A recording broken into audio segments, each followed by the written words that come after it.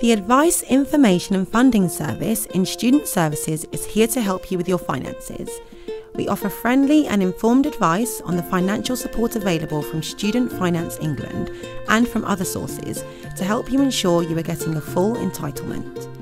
We can also provide specific funding guidance. For example, you may want to change or suspend your course, or you might be planning to study for a postgraduate qualification.